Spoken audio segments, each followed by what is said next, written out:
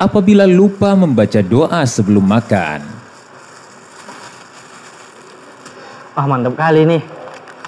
Ah. Hmm, enak kali. Eh, buru-buru kali. Hmm, ngapur kali nih. Udah baca bismillah belum?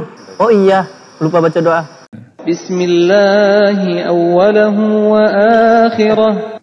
Dengan menyebut nama Allah pada awal dan akhirnya.